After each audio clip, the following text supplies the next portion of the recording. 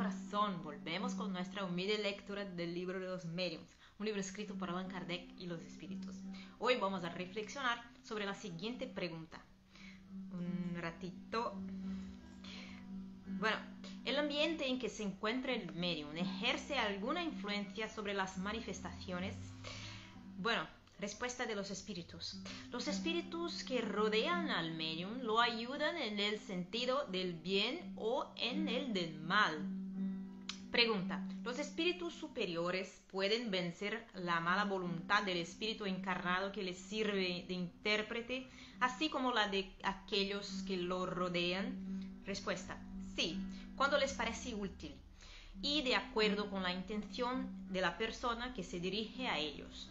Ya lo hemos dicho, algunas veces los espíritus más elevados pueden comunicarse gracias a un favor muy especial, pese a la imperfección del medium y del ambiente, pero en ese caso estos se mantienen completamente ajenos a ello.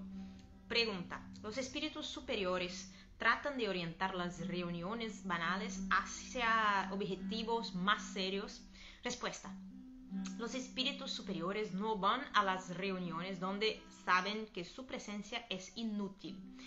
En los ambientes de escasa instrucción, pero donde hay sinceridad, nos presentamos de buen grado, aunque solo hallemos instrumentos deficientes. Con todo, no vamos a los ambientes instruidos donde predomina la ironía.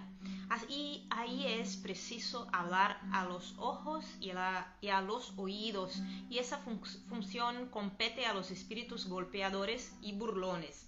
Es conveniente que las personas que se jactan de su saber sean humilladas por los espíritus menos sabios y menos adelantados. Pregunta. ¿Los espíritus inferiores tienen prohibido el acceso a las reuniones serias? Respuesta. No, algunas veces acuden a ellas con el fin de aprovechar las enseñanzas que se os imparten, pero permanecen en silencio como atolondrados en una reunión de sabios. Bueno, en el próximo episodio reflexionaremos sobre la siguiente pregunta. ¿Es necesario ser un medium para atraer seres del mundo invisible hacia ti?